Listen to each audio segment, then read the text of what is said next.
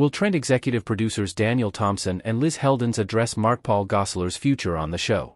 The crime series follows the cases of Wilbur, Will, Trent, Ramon Rodriguez, a special agent at the Georgia Bureau of Investigation.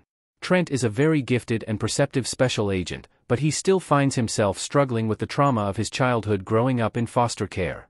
The only people who really understand his history are his girlfriend Angie Pulaski, Erika Christensen, and his frenemy Paul Campano, Gosselaar, who grew up alongside him in foster care.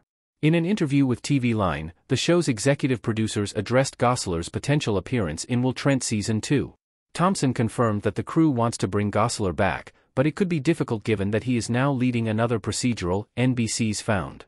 Heldens also warned that they were limited in how much they may be able to feature Gosselaar, given Season 2's shorter episode order.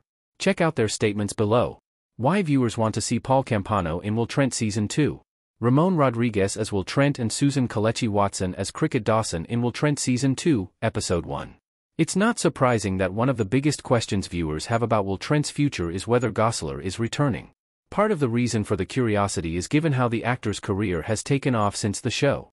Last year, he appeared in a lead role in the psychological thriller The Portrait, then Gosselaar was cast as the lead in Found, which was renewed for season 2 last November.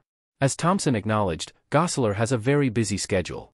Additionally, since Campano is a minor character, bringing him back may not be a priority for the condensed season. Despite appearing only in four episodes, Campano was one character who stood out the most in Will Trent Season 1. Much of his likability comes from Gosselaar's masterful performance. On the surface, Campano is not supposed to be likable. He's flamboyant, arrogant, and rude, even failing to offer Trent basic respect when the special agent agrees to help him find his missing daughter. The reason for the antagonism between Trent and Campano is that they grew up together in foster care, but their upbringings had a very different effect on each man.